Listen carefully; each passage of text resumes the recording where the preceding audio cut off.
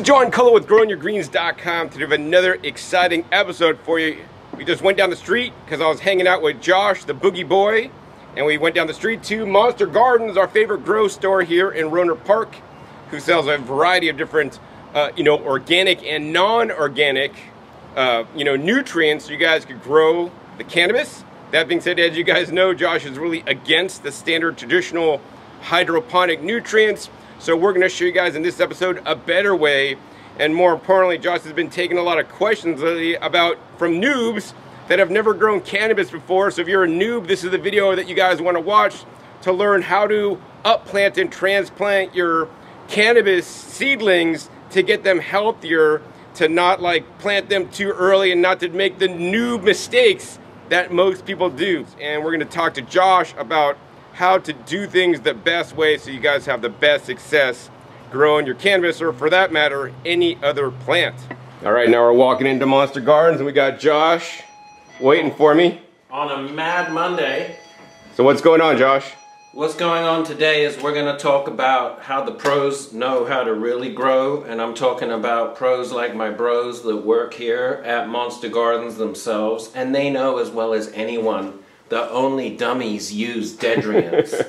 only if you want to be a dummy, keep using the Dedrians. But Josh, why do most grow stores, I mean not Monster, mm -hmm. have only Dedrians? They don't even have all the good options for people. Mo Monster has by far the best natural selection. What I love about my bros at Monster is they're not afraid of telling you the truth.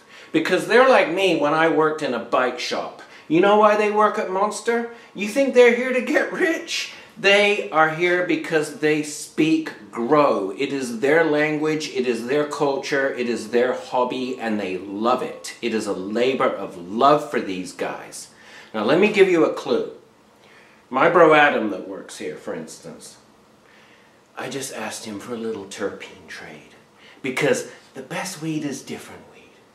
And in as a respectful gesture, I brought back from my place right around the corner some of TD's best VCP, vanilla cream pie, VCP for the victory, right? After Adam, God bless him, bless Josh, another terpene junkie, with some, thank you bro, the ultimate new different blessing that's dedriant free. Now, what did he ask me when I brought him back some of TD's? Is it Chagrin? He didn't ask me, oh, did you use, uh, you know, General Hydro ABC? Did you, or, or what did you blow this shit up with? How, how, how many how many chemotocracy's finest compounds are layering the frosting on here? He asked me, is it Chagrin? This is what kind of connoisseur level hobby enthusiasts work at Monster Gardens. They care because he knows ultimately Chagrin produces the finest terps. Unfortunately, no. TD likes to grow trees and it was full sun grown. But that's the kind of naturalis, dedriant-free language they speak. And that's why they try to offer things like earth juice right here. You walk into any other grocery store and it's a sea of chemotocracy's finest chemical crap. Thousand percent margin BS. And what does Monster show you? Well, they're still required to show you that. Why are they required to show you that? Because the big distributor, mafia-sized companies who control the dedriant industry mandate that they still push their crap. But what does Monster do? Look at this. Yeah, you see the General Hydro, but what do you also see? You see the General Organics. You see what I mean? So these guys, they're trying to, they're here to help you, not hurt you, not hurt your pocketbook. They're trying to help you make intelligent, dedriant-free choices. Growing naturalis, organically, with vitamin L, vitamin love. That's my whole point about what I'm trying to say. That the boys at Monster speak GYGer language, sensible growing solution language. And that's why we're about to leave this sexy sea of plastic jugs, populated, unfortunately, yet still, by some of chemotocracy's finest crap, but mostly monster style with the natural living soil farmers solutions. Most of what I see when I look on these shelves is good stuff that I would like to have if I was growing again and was in my garage. Pride Lands used to be nature's pride. Awesome local brand. Green Grow. And this guy's not getting rich. He's selling you sensible, one-stop shop, top dressing solutions that you scratch in at the appropriate time. The right time. It's all about timing.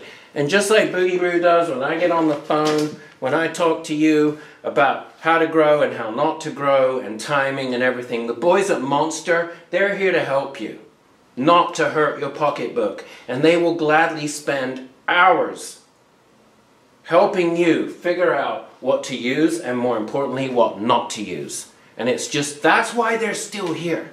Most of the grow store industry is going down in flames. Monster Gardens, they were one of the first companies to say, you know what? We're going to do it online. We're going to help people to make better decisions and we're going to give them our own experience and our own guidance. And that's what I see when I come in here. I see experience. And yes, there's still um, mandated by the powers that be, as I said, by those big distributor companies to make everything look sexy and to sell you a bunch of name brand stuff. But you know what? They try so hard to offer you intelligent solutions, and that's what I see here dominating most of this space. Both, unfortunately, and yet still the liquid consciousness, which is a silly consciousness. Just like only dummies use dedrients, only dummies purchase liquid products at 1000% profit margins and the horrible carbon footprint of a liquid product, no matter how natural its origins, when it comes wrapped in plastic and you're paying for water in 2023, uh-uh. But look what they show you.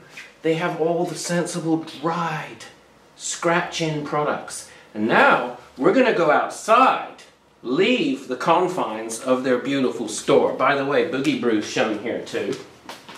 Just wanted to give myself a little marketing attaboy. Not that I care. I mean, I am very grateful that they so prominently have placed my product on their store. They're not afraid to sell a local, honest, bulk granola, organic, sensible value. Most grocery stores wouldn't touch it. You know why? It's too honest, Josh. That's what they've told me. Your product is too honest.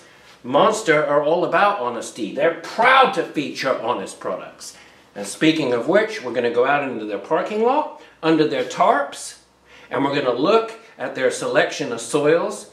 And Adam and Jim over here at Monster kindly also donated us the use of all the different size transplant containers. We're going to talk about those containers and when to put which soils in those containers and which time to do it at and how to monitor everything and do your transplant phases. We're going to try and put into a video the importance of transplanting at the right times with the right strength of soils. Now if you're unable to follow what I have to tell you, guess what? Your guys at Monster are here to help you too, so you can give them a call, okay? And they'll coach you on the same choices the container size and the strength of soil you're using. Remember, most of the sensible products that I see here, including my own, these are just high octane fuel additives for the real horsepower, which we're about to show you, the biology that's lurking in their parking lot. Let's go take a look.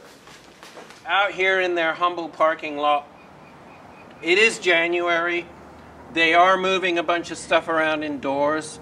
Normally, um, this stuff, this, this whole area would be hopping with a lot more activity. I can see in as little as two months' time, guys pulling in 707 grow coders with their flatbed trucks, getting pallets of soil, because the guys at Monster are, you know, in the off season even, ready to help their soil farming customers Um, so we have the benefit of being out here in the parking lot and having it all to ourselves. So great, have a chat with our self-esteem. This is awesome. We're out in Monster Garden's own parking lot showing off their biological wares that come to you in bags.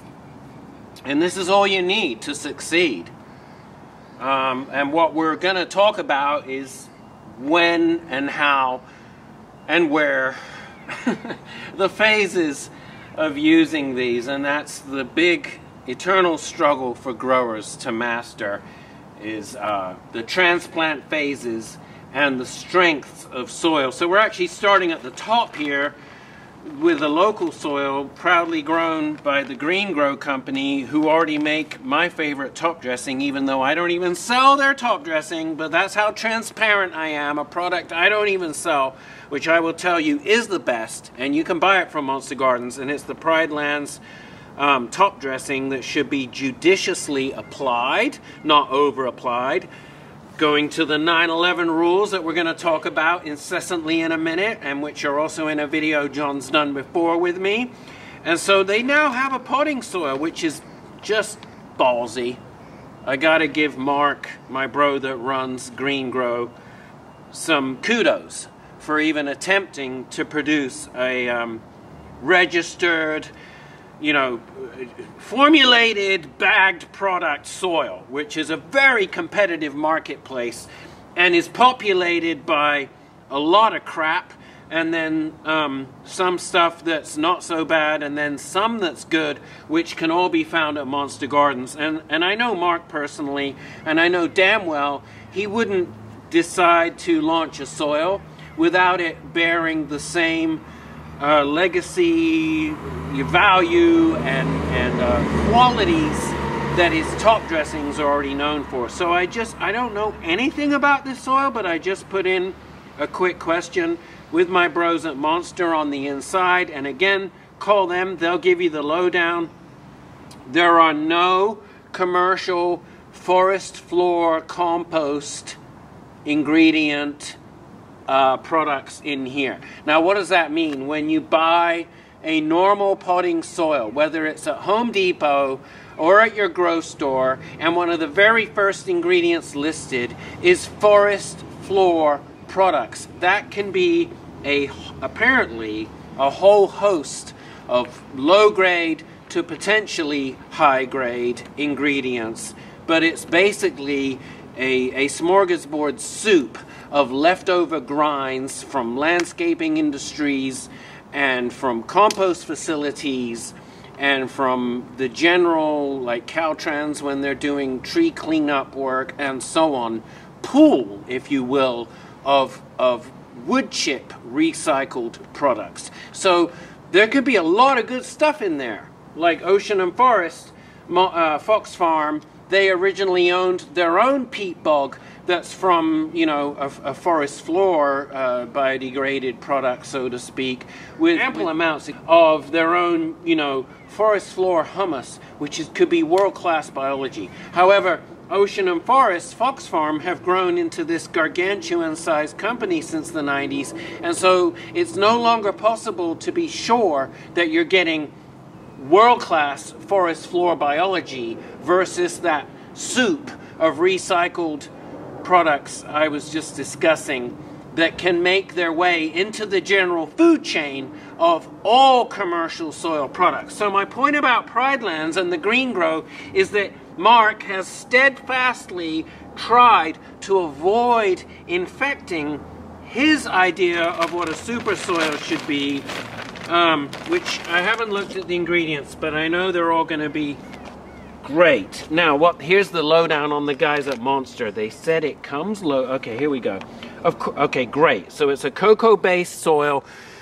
In general, cocoa peat versus forest floor um, peat, although peat humus is also in here. They they both display different qualities, but the good news is cocoa is supreme for retaining beneficial aerobic organisms and those valuable BSF bacterial surface um, area, colonization, microporous spaces, cocoa reigns supreme for allowing the beneficial microbes, for colonizing basically. And then we go to the, the peat moss, the peat humus. Um, and then he's got some lime. Okay, it's very clean. He's got some um, recycled ocean, some oyster shell.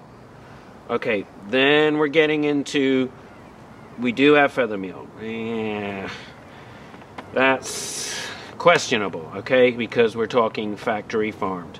This isn't going to be in all of the super soils, unfortunately. But then you have your fish meal, your guano, alfalfa. Okay, everything else besides the feather meal, he gets an attaboy. Very clean and Blood green. meal, Josh? That's Wait, an you see blood attaboy? No, no, no blood, no blood meal, bro. That's not a cool. Yeah.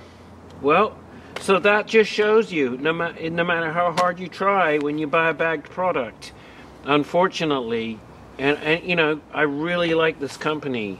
They're more professional than Boogie Brew could ever hope to be, and their their their uh, mycorrhizal products are world class.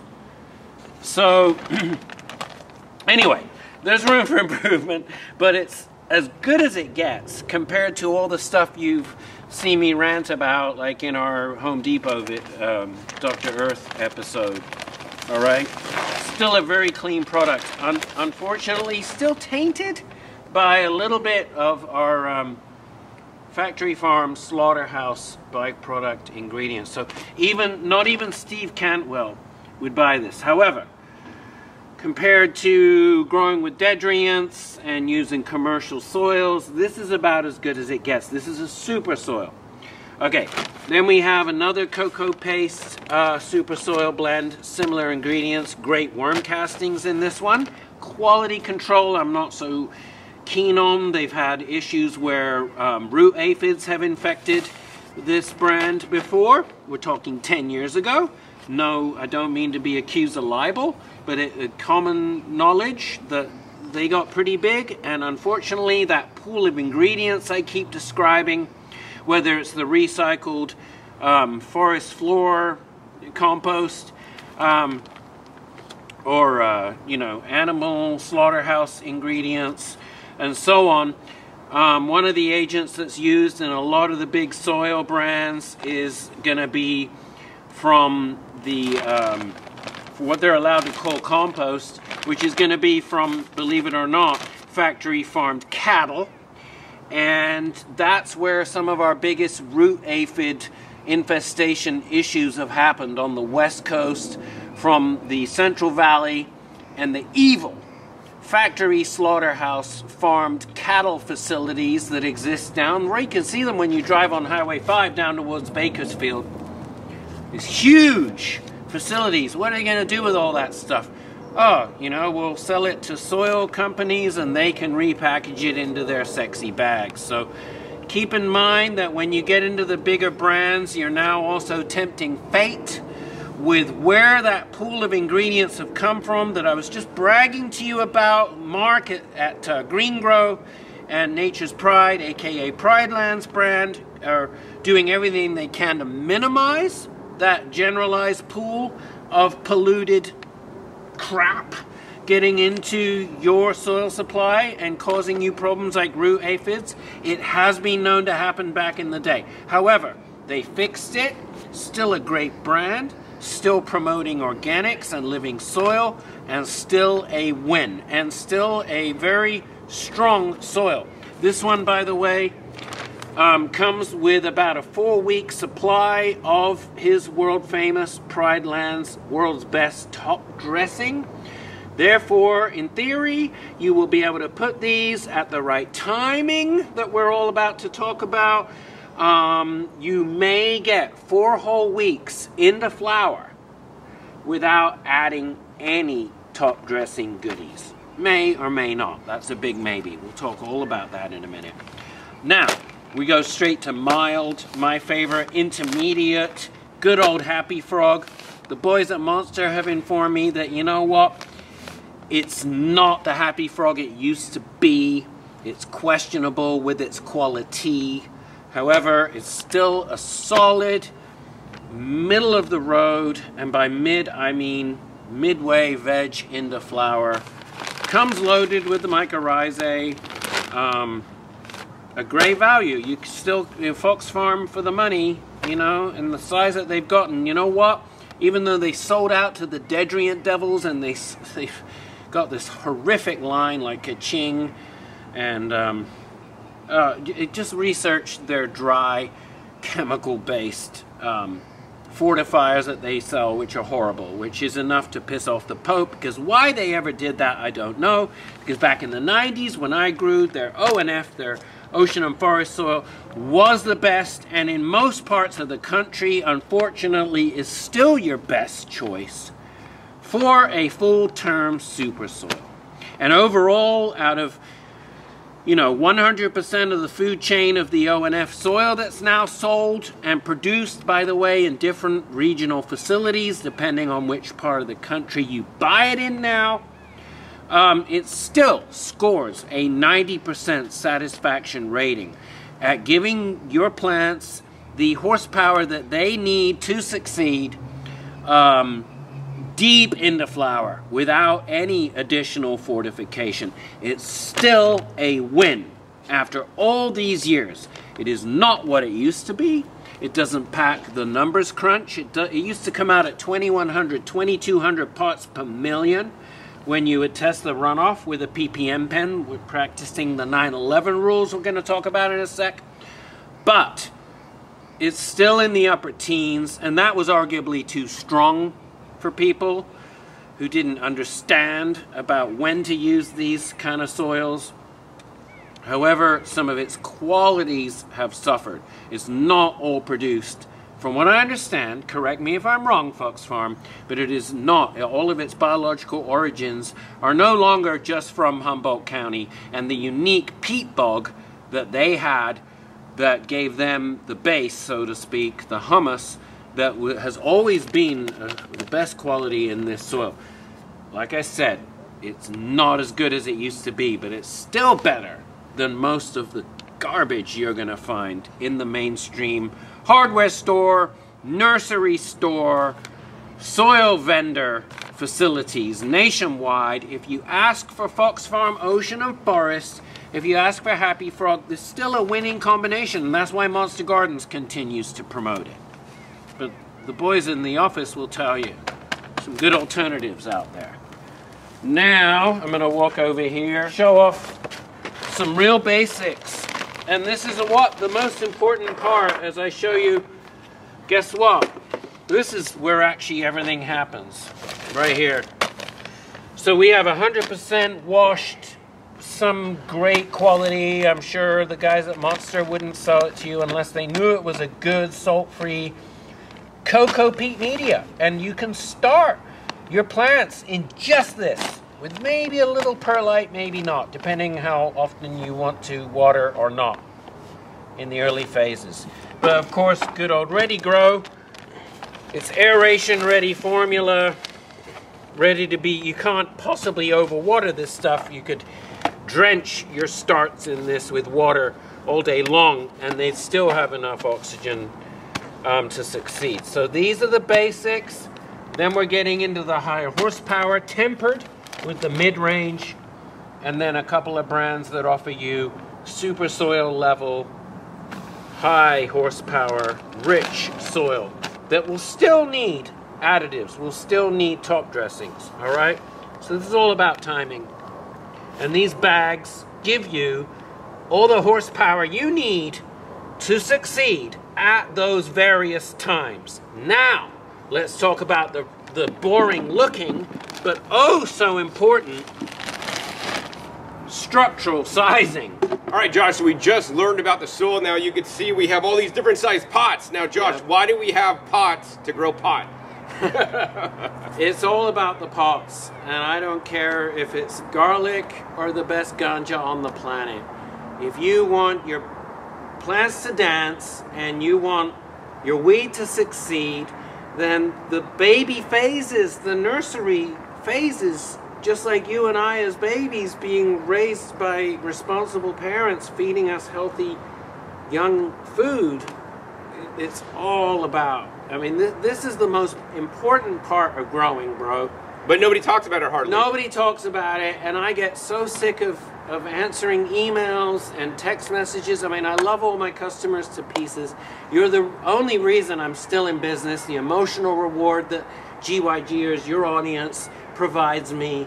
And, and I'm very appreciative, but nonetheless, I, I get really exhausted with asking people the same questions and trying to decipher those early phases and, and where they you have jumped the gun with going into too big of a pot to begin with, with too rich of a soil to begin with, or any combination of those factors.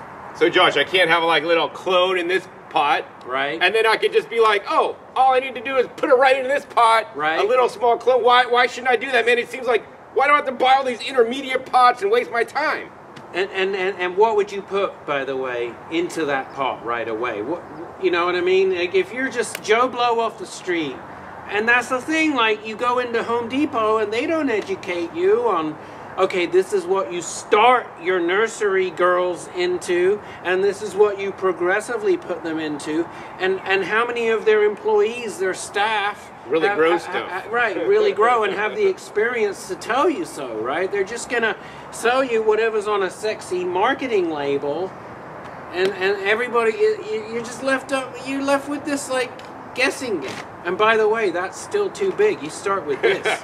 you start with this, bro. You start small. Even clones, dude. Yeah, no, clones, cubes. You you start out with those cubes, and you keep them in that cube-sized, um, containerized space, John, for as, as long as you can. Like you're starving that child. You want that baby to become cuncular as she's looking with new roots all the time for foods that you're not even able to give her because you're limited to this tiny space.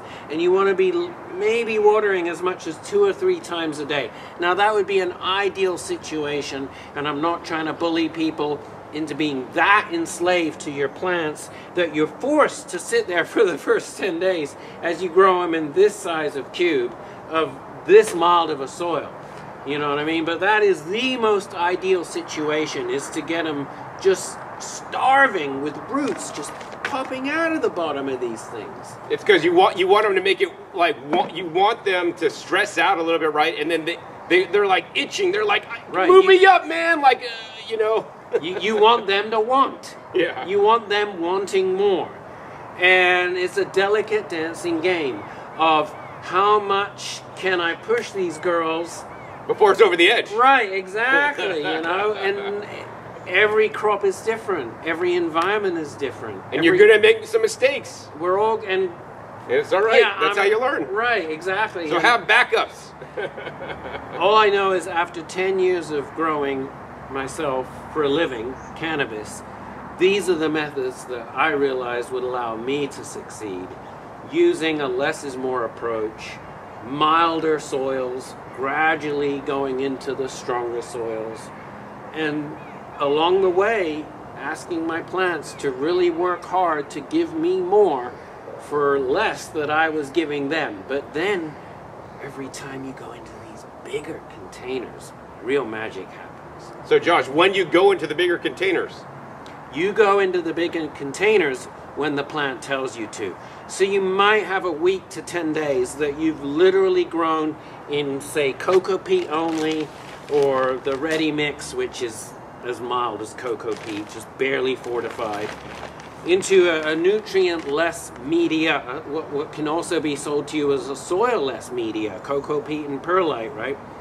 um, where they're not getting anything at all besides the nutrients that are within the plant's own cellular sub- substructural system. Maybe a little pure protein if you spray, if they're clones and you want them to root faster, or seeds that are going to pop faster, and that won't burn them, even though it's an ultra rich form of nitrogen. So a little pure protein sprayed on them in the mildest soil possible in a little tiny one inch, two inch, cubicle sized root space structure for as long as possible. Eight, well, not as long as possible. No more than 10 days max, but a- about a week. and then what what are the signs that it should be moved up Oh, as, as soon as possible? those signs of the, the plant being hungry for more would of course be in the root zone itself, mad white. That's why I keep my hands down here. This you know, I'm trying to psychically create these cuncular, strong, white, fibrous root structures that are popping out of the bottom and that are taking it over. Also, another sign is it's going to have so much root in that small of a pot, in that small of a container, I mean, or thimble full size, whatever it's got, its media. The root is going to be more than the media. And so they're going to need watering all the time. So if you start out with two times a day of needing to rehydrate them, which is a great thing, the more you get to rehydrate it, the better. You definitely don't want to leave it wet. If it's wet, if it stays wet for more than 24 hours, you've got big problems in this phase. You want it running dry. All right. So when it's at the point where it's like, my God, I'm having to water them three, four, five times a day, they're definitely telling you to go into the next size. It's a feel based thing. I'm asking your viewers, John, to be what you already are and what I barely am, in spite of sounding like I know what I'm talking about. A FBF, a feel based farmer. This is feel based. When you get the feeling, okay, and also, a visual shine is the, the new growth will still be green, but whatever old growth is on there will start to really yellow. Uh, they can't support the old growth because it's Right. just being It- it- starved it's, out. u- it's using its own pl- plant nutrient, you know, reservoir. Reserves. Right, reserves, exactly. And so if you see older growth, lower leaves turning yellow, new growth that's popping out lime green and healthy, and, and that's perfect. With lots of root structure coming out of the bottom. And never overwatered along the way, like pushed dry. You can teach a plant from its earliest days to run dry, and you really want to do that, especially with cannabis. Because we're here at Monster, I know this is mostly for us weed necks. and most of the cannabis strains are Afghani water pumps, as Super Seth likes to call them. Um, and are a, a genus, uh, cannabis in general is a genus of plant that likes to run dry. It's better to dehydrate it a bit more than, definitely way better than overwatering it. I've never heard of a strain of cannabis that likes being, like sitting in water all the time. All right, Josh. So once you get out of this size, what size do you go into? Do you go into like a one gallon, or you go into one of these like four inchers? And Yeah. You know, why do you, why do we have square and circular pots? Like, which ones do you like better? You know, the jury's out on that. Um, circular, I did read of a study in the 90s they did where they invented a pot that was narrower up here and wider up here, wider at the bottom, which actually makes a lot of sense in nature. When a plant goes down into the soil, it's got plenty of vertical real, horizontal real estate as much as it has vertical. Why has mankind invented all these nursery pots that you know what I mean, shrink a plant's root system, and therefore you could argue that's why the popularity of what we're not showing here, your um, root air pots, your air pots, your what is it, your fabric pots, your root pruning, root pruning pots that encourage more horizontal growth. Um, so I guess in that regard, I'd rate a square-shaped pot superior. Uh, wait, there's a smaller one, right? Yeah. So wait, wasn't there one even smaller? so we're getting, uh, you know, this is just shows you how OCD I am. Let's lay them all out here. Look at this. Like, how many choices can you get, John? What would you do? I like the square pots personally because I I mean it's just easier to deal with, and I mean I don't know. I just Well- like because they get they get fit easier when you're growing them Right, like, right. more efficiently for trays, for moving around. Right, exactly. And this, with these, with the, you're still thinking about your greater numbers, and you're not necessarily at the point where the actual resulting crop, like there's still going to be some stray soldiers that you get rid of, right? So always grow more than you need to succeed. Yep. Even with cannabis, where I know you're limited in most jurisdictions um, where it's not fully legal yet, or even where it is fully legal recreationally, they still limit the hobby growers' numbers that can be grown, and certainly in, in more like quasi legal and medical only legal um, jurisdictions, they say, oh, you know, you can grow um, 12 transplants, 12 nursery, and then six final trees, six final. But um, I've never heard of anyone getting busted for I mean, if you keep it to 99. But you of know- course, consult a lawyer. Yeah, whatever. Yeah, whatever. I'm just saying, in those early phases, don't be shy of growing more than you initially need to succeed. One of the biggest. Um, It's a numbers game. yeah, it's a numbers game, and the, uh, one of the things I get all the time is, "Oh, I started my six girls, Josh. Can you help me?" A couple of them are really struggling. It's like, ah, Should had extras." Yeah, why didn't you start with more than you need? Just like I got lucky last year to get TD's leftover trees, right? The ones that weren't going to be rejects. his tree, right? His rejects, I- right? yeah. So someone, you know, someone can be as obsessed with growing the best as TD and have an 8 out of 10 variety that still doesn't cut it for them. But Right. still killer for somebody else. Right, right. So then you get, you know, there's always someone who will take your leftovers if they're not just straight rejects. Um, now, what size would you go th- if you started out in a flat? Okay, let's forget about weed. Let's just say radishes. What would you then? Radishes, I wouldn't even. I would have put directly in the ground. Okay, ground. Okay, so not a ground cover crop like garlic. Tomatoes, say tomatoes. Okay, a tomato. What would you go to? Well, if I was in a six pack, man, I'd go to a four inch. You wouldn't even bother with the two. Nah, that, I'm uh, wasting my time, man. I don't have that much time. But, but, but, but see, to me, tomatoes aren't as valuable as cannabis. Right, and if it was indoors, And if I only had six plants, then I'd probably go every little step that I needed to. and if you're wanting to give yourself a greater number of nursery stages, Yeah, you want to go slowly. because I look at this and I see two weeks, three weeks even, after my little whatever clone size cubicle, I see two to three weeks of veg doable in something Wow. like this. Two weeks. I wouldn't waste my time. I'd get Oh. rid of pots that size. Then you, so you'd go But right. I don't grow cannabis either. Right. Uh, but again, every situation is different. You know what I mean? So, do you need a pot this size? Only you can figure that out. For me personally, I'm a bit OCD about all the nursery phases. Finally, giving me the 24 legal plants, or the 12 legal, or 6 legal, whatever it is. Um, you know, for bloom phase. And so the the greater numbers I can do early on, and the then weed them out. weed them out up. along the way. Exactly. You're like, oh, this one's a freaking dud. Give it to my friend Joe. Amen. Thank you. Thank you. Thank you. You just helped And then and then move out. it. Then you move up a few less. Right, So you don't gotta keep moving up all the ones. Now, all right, I got but, it. But then this into here. eh, not much, man. Right. So you would maybe go this into this, Ah. and then this one would go. You see what I mean? I see. So we're not saying hey, you have go- to use every single one. Right. We're not saying you need to use every single one exactly. We're saying use two or three of these, depending on what you you know.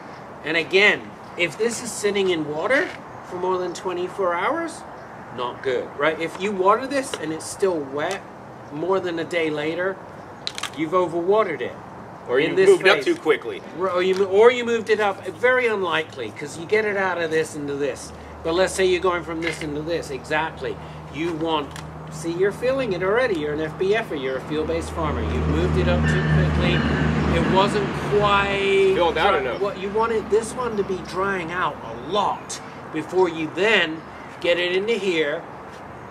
Now, of course, initially she'll only need water in here for a day, you know, for once a day, I mean. But pretty soon she's going to want it twice a day. When she gets to where she wants it three times a day, and you see the white tips coming out of the bottom, It's time. it's time. Exactly. So, Josh, let's talk about soil. We talked about when to move it up, but Right. as you move up, do you still keep using the weak ass soil, or do you start using some other soils to try to get some nutrients in there? There's the secret sauce. And, and which one do you do when? And you know, it, we're asking you for your feedback too. This is not my bully, boogie bully boy trying to tell you, you know, you need to use this at this phase and this at that phase. But it should clearly be a sensible choice of milder, less is more, making them look for natural nutrients Until when?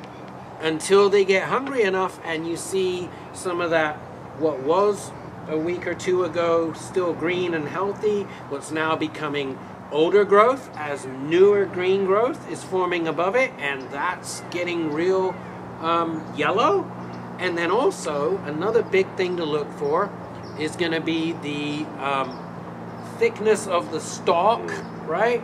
and how cunk, what I use the word cuncula, how cunky she is, how sturdy. If that stalk is still wimpy and, and, and flippy floppy, you need to let her firm up, right? You've probably been overwatering her. She hasn't been in this container long enough, umpteen reasons. You want to get her cuncular and sturdy and strong. And then she goes into the next one. And what goes into each, you tell us. But we know it's going to be stronger than what you started them out in, just like a baby. Starts out on the mildest foods, gradually can be exposed to superfoods like honey along the way.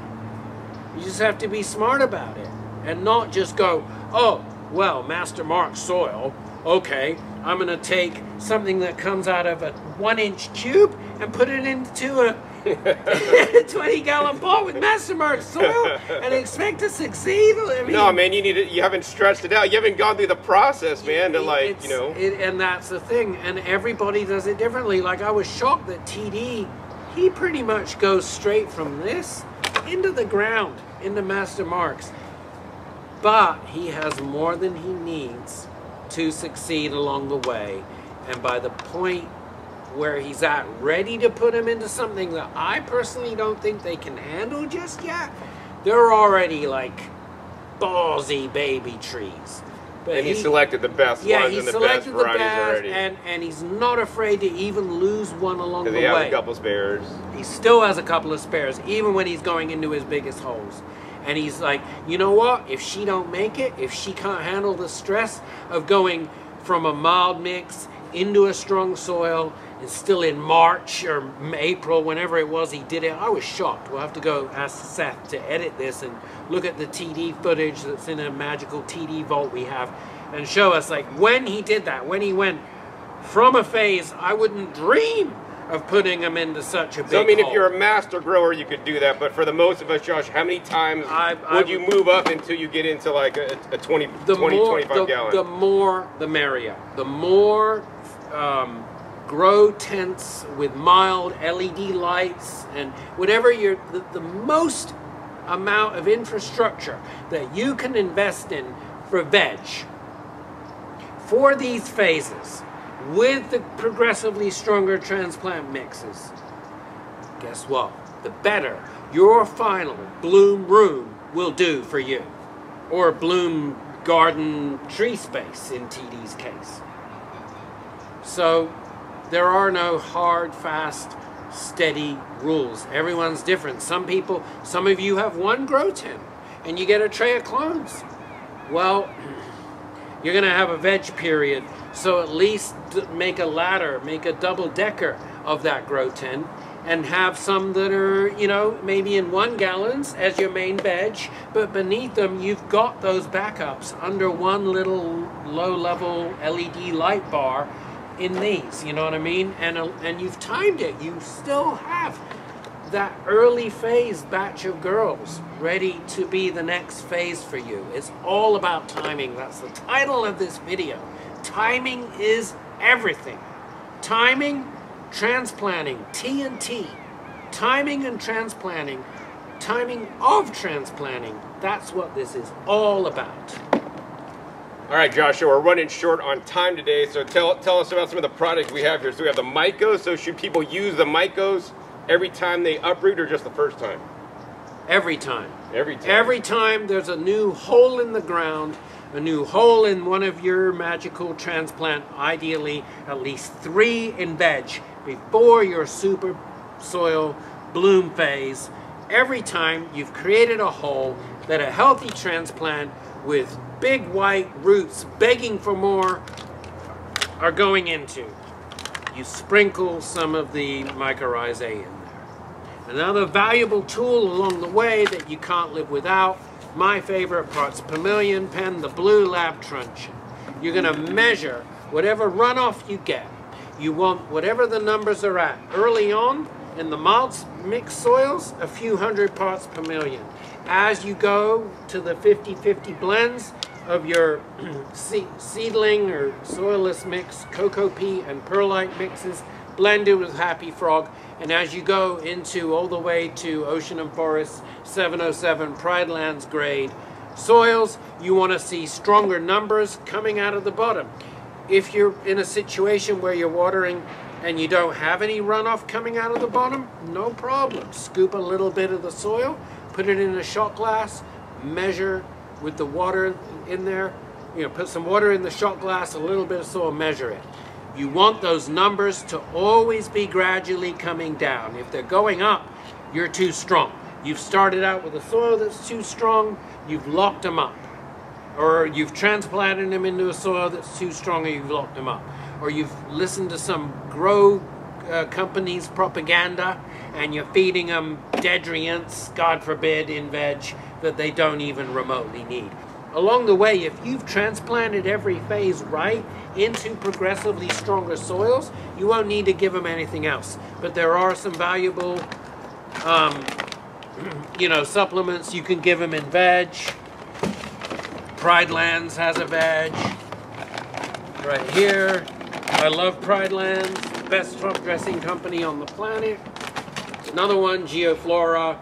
No crappy, some of these are organic based, but they still have deadrients in them, but these don't, especially this one. So if they need anything in veg, if the ppms are coming out low, but they still are only a few days in, and you're like, oh wow, the soil I put them into is not actually strong enough. They're so greedy, they're so hungry. They're using Feed more. a little bit more. You could, you could exactly just Little bit. scratch in a little bit, or you can cheat and give them pure protein and boogie brew tea, which will definitely bridge any nutritional gaps that may or may not. In general, less is more. You want to starve them. You want them hungry for more. You want the ppms to be coming out lower. We don't have time to get into this. He's done a much better, more Video in-depth video about this with me. But this is a valuable tool to use along the way. A parts per million pen from the early phases and certainly into bloom. All right, John, so we talked about the soils and all the different pots, moving it up and then feeding a little bit, measuring it with the truncheon stick. Let's talk about going into the main growth stage now. What's different and what's going on? Do you still move it up to bigger sizes or what? You still, yeah, everything's different. Now your plants are ready to dance. They're on the big boy game. They're playing their best for you. You've weeded out, unfortunately, some stray soldiers along the way that have gone into the compost pile, okay? You've gone through your progressively stronger mixes. If there's been a situation where, the, and by the way, when they're in one of these, they can go two, three, four weeks, you know, in a one gallon. But again, you know, are you growing indoors or are you growing out? If you're growing indoors, I wouldn't veg in something as big as this. I would veg in something maybe as big as these. And then you're going to grow your final indoor in a tent crop in something as big as this. This five gallon underneath all these. But of course, for outdoor, this is the minimum size. Or if you have an, a tent which has sufficient vertical real estate and the LED light that allows you to grow really close to it, you could still grow indoors in a container as big as this. Bigger is better. Along the way, they've gotten hungry, they're begging you for more each time. You've gotten as much as as little as, as, as a week um, to a 10 day, two week period in something this size before they in- insist that you grow them now into this size. Now you're into these sizes, you could get as much as a month out of these. And, and certainly a month in veg with these milder mixes, yeah, they're going to want a little extra top dressing, a little extra pure protein, a little extra strong compost tea or boogie brew tea, whatever tea you want to use, all right? They're- No matter what, you want those numbers to always be coming down. If they're going up, flush, baby, flush. Feed them water, get those numbers to come down a bit. And then um, when they come down a bit, now you can recharge them with some fresh tea and maybe even a little extra top dress. It's such a game. It's such a delicate dance. It really is. Okay, we're going into the big boy phase now. We've got our big, whether it's in TD's case for a 10 foot tall tree, you know, a, a massive 200 gallon hole in the ground, or, you know, if you're more limited in a greenhouse or in an indoor situation where something as big as this is, can be used, um, then what is this, about a 20 gallon size? That's still, in my humble opinion, not enough to furnish the plants with everything they need to succeed in bloom. Granted, at this point, you've got them into a super soil. You've got them into like the best of the best. That Pride Land stuff over there we talked about, which has about a give or take four week supply of goodies built into it. But there's still probably, ideally, actually, not just probably, if you've done everything right to this point and you've pushed them along the way, all those timing phases, they're still going to be hungry. You always want your plants hungry. Always. So what do you give them? Now they're in their super soil and no more transplants. What do you do? Composting, And what else? nutrients, And where do you get those nutrients? organically. Right. From as sensible of a source as possible, using a sensibly priced top dressing, which again, we're going Pride straight. Lands. Pride Lands, like Nature's Pride, don't even sell their products. But just none of this is about bullying people into you into buying Boogie Brew and my products. You know, I sell Rainbow Mix, and that's a good, cost-effective top dressing. And part of our Bloom package, which is an unbelievable deal, blah blah blah. More bang for your buck, but if even bang for your buck, this is still great. You know, this isn't just Rolls Royce level. It's a really good quality, but it's still not vegan, and we we're going to actually work on a um, Steve Cantwell approved approach for 2024. So stay tuned for some really high powered boogie formulated top dressing mixes in bloom that don't have even a little of those animal slaughterhouse byproducts in them. So this one, and then you've also got. I noticed Monster has this. Since we're here in Monster's parking lot, I asked him, and we checked. I checked with Adam. This does not have any deadrients in it. Geoflora, Omri listed, and CDFA. So pretty hard to go wrong with this. And again, this would only be applied to your super soil in bloom once or twice during that 6, 8, 10, 12 week bloom cycle. And only when this It's cre- low. when this number gives you a lower number, when the numbers really stop to drop, start to drop. And like I said, we call it the 9/11 rule. Simple. You wait for the runoff. Again, if there's if you can't get any runoff, you scoop a bit of soil into a shot glass and measure that. When those numbers dip, in our case, overall around 1100 parts per million is when we would then make the choice to wisely feed up to another nine. And that way, the next time you measure any runoff, no matter what, it's not going to come out too strong. It's not going to come out above 2000 ppms. Now, you mentioned compost tea. I'm pushing these kind of ingredients. However, my tea or any tea, your own open source workhorse, refer to the workhorse. Yeah, link down below for that. Workhorse tea will activate these. So make it even better. Right, they will activate these ingredients, and generally, when this thing is alerting you, hey, the numbers are coming out low, when the plants are telling you, feed me, the soil's not strong enough anymore, and you scratch in some top dressing instead of using an instantly available chemotocracy's finest deadrient crap brand, right? If you want that stuff to melt into that bio kingdom, Be absorbed faster. Right, to be exactly. We're not what we eat, we're what we absorb. When we're really hungry, we need all the absorption help we can get. That's when I'm going to shamelessly plug my product, Boogie Brew. But I'm also going to tell you, please don't let me be the boogie bully that's saying you have to use this. Even a A, simple a worm good tea, workhorse tea. a good workhorse tea. Exactly. A good You need any kind tea. of tea to activate Right. and get those absorbed quicker so your growth Right. can be healthier and happier and produce more. Exactly. And guess what? The next time, a, a day or two later, when you get some runoff, or if you don't get runoff, when you just want to scoop the soil and get the ppm test, those numbers will have bounced up into the high teens where you want them to be. At the most, if you've done it all right, timing is everything, with the progressively stronger mixes, and about a week before flower, put them finally into their super soil kingdom home.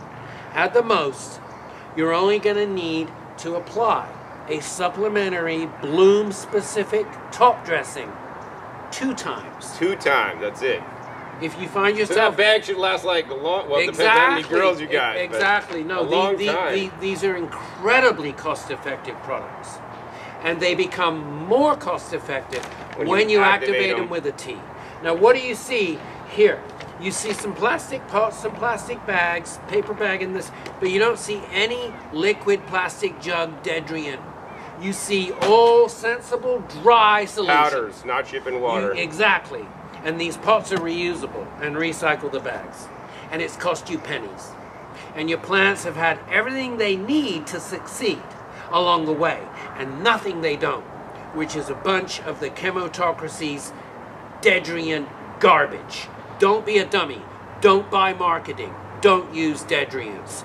Do use soils intelligently, the best you can source locally at the best possible price. If your grow store can get some of these at a good price for you, demand that they give you these kind of solutions instead of the deadrient crap that they're pushing on their shelves and use these things intelligently. And guess what? The super soil, Steve Cantwell, what is he? What did he say? 13, 15 times, like more than 10 times. Reusing the soil. Reusing it and getting a better yield each time. Time. And all he's doing is fortifying it along the way a little bit with stuff that's even better quality And more importantly, stressing his girls out as he moves them up. as he moves Very them up. important. when you finally visit Super Steve C in Nevada near to you and go over these things, this will all be just for him. He speaks this language. Like, uh, I'm telling you, like, the Living Soil movement is alive and well, and um, it's more about what you don't do Yep. than what you do. This do. is not even complicated. You get a couple of things, a couple of bags of stuff, you move them up, pay attention to your you, girls, You move them up. You, it's all about those graduated phases. It really is. You and know- paying attention to your girls. You know, John, you're right. It really isn't complicated. It is simple. It's being a field-based It seems farmer. like a lot easier than all those stupid chemicals and measuring your pH and pH up, pH down, all this crap. and feeding when the deadrient company tells you to feed. Versus when the girls are telling you and the, and the exactly. truncheon meter's telling you. Exactly. Amen. Amen. Yeah. I mean, what is complicated is how we humans, you know what I mean? Well, we have to think, doing it this way, you have to think like, oh, my root's good enough. You got to start learning, guys. No shortcuts in life. Yeah, so what complicates things is when you don't think and you blindly follow whatever that's what the- people wanna do. They just wanna whatever blindly follow the- the Whatever the deadrient industry tells we're, you. we're being taught not to think in our society. Right. Yeah. Be, be, a, be a critical thinker. Be an FBFer, a field-based farmer. Think critically about what your plants need to succeed, and not what the marketing company idiots try to bully you. It's simple, using. guys. It really it's simple. is. So, is. Josh, I got to leave, but any final comments you'd like to share with my viewers today before we sign off? I'd like to thank you for hosting me here, and I'd like to thank Monster Gardens for allowing this on a day they're moving inventory in the off season. It's a Mad Monday. I'm supposed to be shipping orders. Yeah, and I'm supposed to be catching a flight. Yeah, you- but but you know what? This, was is- worth it. This is so worth we're, it. We want you guys to grow the best We- we organically, you know, and have the best yields. And whether you're growing cannabis or even other vegetables, a lot of these same techniques apply. If you apply the, all these techniques that are foolproof, are stoner proof for growing really good ganja, if you apply this general um, Rules. rules, right? Thank you. The the general principles to all gardening, you will succeed. You really will. All right, Josh. Well, thank you so much. I gotta run, but hope you guys learned a lot in this episode. If you guys want more in-depth episodes with Josh, hey, be sure to give this video a big thumbs up. More importantly, share this with other people, Just- that this video could get a lot of views, so we can get people off the dead deadrients, get people to think more, think about their girls more, take care of the girls' needs, so that they can benefit more from higher quality and uh, you know much more quantity than they've ever grown before. Also support Monster Gardens. Their link is down below. Also their YouTube channel. They've been making YouTube videos forever now, so check them out. They're a wealth of information. Don't be scared to call them up. I'll put their phone number down below. They're experts there that work at Monster, and they're there to help you get you the right uh, products. And of course, they sell all the products that we've shown today. Monster are amazing. They really are. I can. I've said it so many times. They've done the industry so many more favors. They really have. Just by being here as an institution, as a group of guys that are here to help you and not hurt your pocketbooks. You know, they've done, along the way they've done the industry a lot of favors, including their neighbors at Boogie Brew.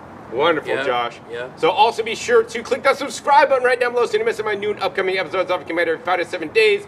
You don't know where I'll show up or what you'll be learning or what next interview I'll be having with Josh one of these days coming up soon. Make sure you click the little bells to get notified as many videos come out. And finally, be sure to check past episodes. The past episodes are a wealth of knowledge. Over 1,800 episodes at this time on this channel dedicated to teach you guys all about how to grow your own best fruits, vegetables, nuts, seeds, herbs, including cannabis.